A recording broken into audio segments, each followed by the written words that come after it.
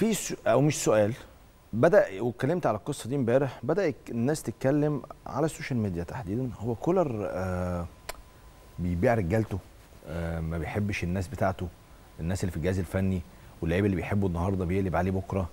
ده اتقال كتير قوي بعد ما سمعنا إن خالد بيبو وخالد جوادي خلاص ماشيين من النادي الأهلي.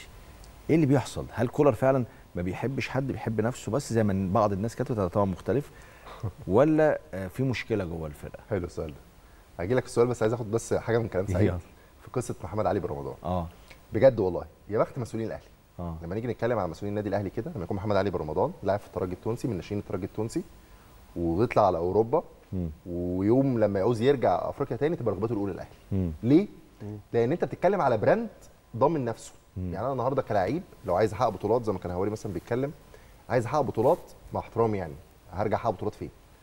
آه. فريق في آخر خمس سنين زي ما قلنا واخد أربعة أفريقيا البطولات المحلية ما شاء الله طبعا مكتسحة فبالتالي أنت بتبيع brand يعني أنا أعتقد إن مجلس إدارة الأهلي والتعاقدات وكده شغالين وهم زي ما بيقولوا كده إيه بس أنا أنا آه، رأيي ده سايبين إيديهم. أنا رأيي ده طول طول الوقت طول السنين إيديهم. اللي فاتت كان الأهلي كده والأهلي بيبيع باسمه أنا بقول لك لا. سايبين آه. إيديهم يعني أنا آه. النهارده مع احترامي يعني محمد علي رمضان يعني أنت من غير ما تتعب مش هتخش بقى مع الاخدود ولا تخش مع سين قصاد كده كده اللعيب عايزك لأن هو عايز مصلحته عارف صحيح. إن هيجي هنا هيلاقي فلوس مضمونة هيلاقي بطولات مضمونة هيلاقي كبيرة. جماهيرية كبيرة فبالتالي الراجل أهو يعني مش عايز أقول مش عايز أقول بس يعني إن هو إيه يعني عمل مشكلة في تونس بلده وأهله وكل حاجة. ليه؟ عشان يجي الأهلي لأن هو عارف هو جاي عليه. فدي الجزئيه قصة كولر. آه. ناس كتير بتشوف كولر ده الراجل ال- الهادي cute. المنطوي اللذيذ. ال cute اللي قاعد بالورقة والقلم ولسه عايش في في الزمن المنافلة. الكلام ده مش حقيقي. كولر ده على فكرة بيتعصب بشكل قوي جدا. مم. وراجل آه، طلباته وخصوصا الفترة الأخيرة. يعني هو ابتدى كمان يبقى إيه أقوى. مم. البطولات قوت قلبه. طبعا. الجماهيرية قوت قلبه. صح. آه الراجل ده خلي بالك عشان بس الناس تبقى فاهمة تفكيره مش عايز فلوس. عشان ناس كتير يقول لك إيه أصل كولر عنده عروض. خالص هو مش عايز عنده عروض كتير مش هيمشي. ليه؟ الراجل ده كبير في السن طول حياته ما حققش عشر البطولات اللي حققها في الأهلي جاب آه، حقق فلوس كتير جدا.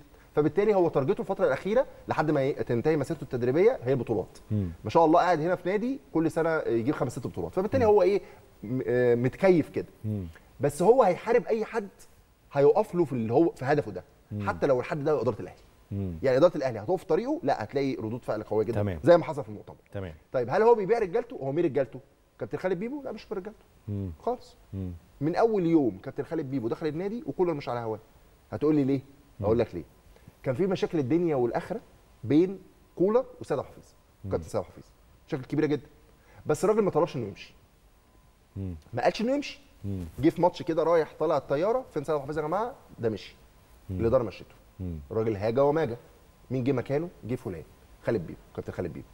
كابتن خالد بيبو من أول يوم تعيينه يقول شمال كولر يمين. كولر آه خالد بيبو يقول يمين كولر شمال. هو كده.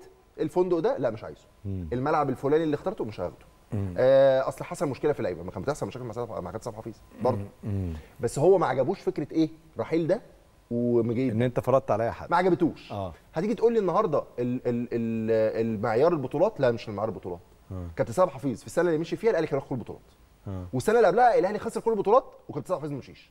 صح. طيب السنة دي كابتن خالد بيبو واخد كل البطولات.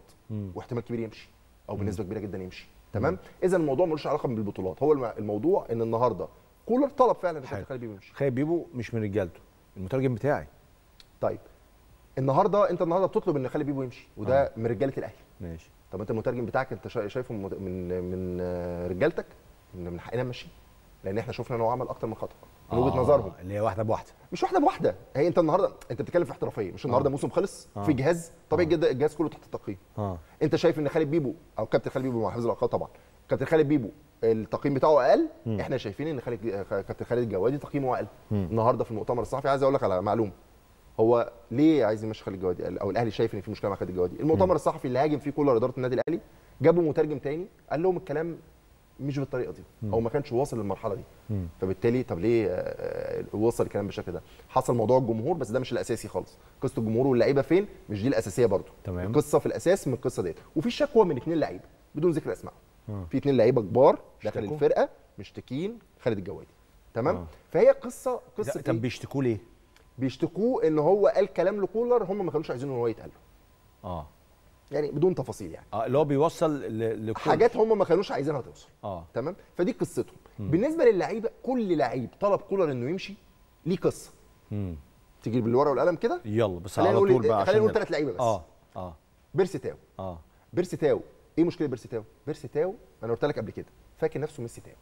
ميسي أنا ولا تاو؟ بقعد آه أنا ولا بقعد دكة لحد. آه. ولا تيجي تقول لي آه غير ولا الكلام ده. آه. مرة خرجوا.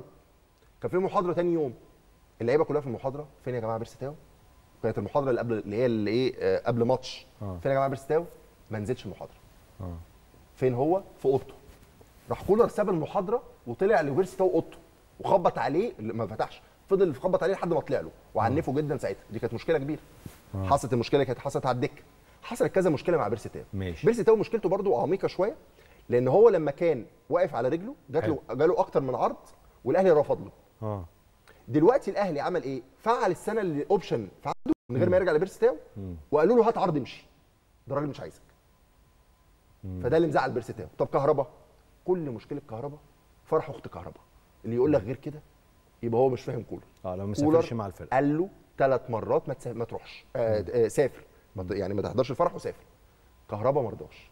والراجل وصل له عن أكتر من حد إن ده يعمل مشكلة كبيرة وإن لو تفتكر ساعتها ترتيبك هيبقى الثالث من ساعتها وكولر واخد قرار أنا مش هلعب كهربا إلا لو الموضوع جه على مصلحتي.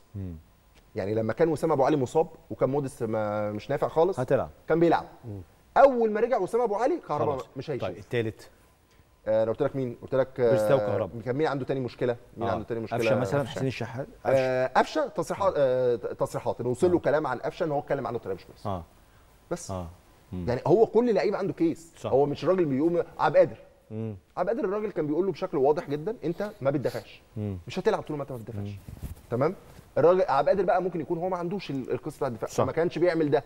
فبالتالي الراجل اعتبر إن ده آه، عدم تنفيذ لتعليماته فاستبعده. طيب. لما ابتدى ينفذ تعليماته شوية ابتدى يدخل. طيب. عايز بس اعقب حتة طول بقى. سريعة آه، عشان عشان هوري عايز هيتكلم أقول في جزئية ثانية آه. فكرة رحيل مدير الكورة في النادي الأهلي بناء على طلب المدير الفني دي ما حصلتش في التاريخ ومش هتحصل في صحيح. التاريخ. ليه؟ لأن قرار تعيين مدير الكورة أو قرار رحيل مدير الكورة ده قرار قطاع الكورة قرار إدارة الكورة في النادي الأهلي قرار رئيس النادي الأهلي مش قرار المدير الفني. حتى في ظل وجود مانويل جوزيه ما كانش بيتدخل ابدا مظبوط. مين موجود مدير كورة حتى لو اشتكى من بعض الشخصيات اللي كانت موجودة وقتها في الحقبة الأولى أو الثانية أو اشتكى فعلا الثالثة كتير. وكان طيب. بيشتكوا بتحصل مشاكل حلو. ففكرة رحيل خالد بيبو بناء على طلب كولر أنا بأكد لك الكلام ده حتى لو حصل إنه آه. مشي أو قعد ما بيبقاش قرار مدير فني رؤية قطاع الكورة مفهوم ما هو عشان كده الموضوع معلش آه، عشان كده الموضوع مختلف عشان كده في بقى واحدة بواحدة والكلام ده. بدليل إن رحيل عبد الحفيظ بس هي معلومة كولر. اللي طالبه. أيوة. لا لا كولر. كان- أنا عايز أقول لك على حاجة. لو الموضوع في اداره النادي الاهلي خالد بيبو هيقعد 20 سنة. كان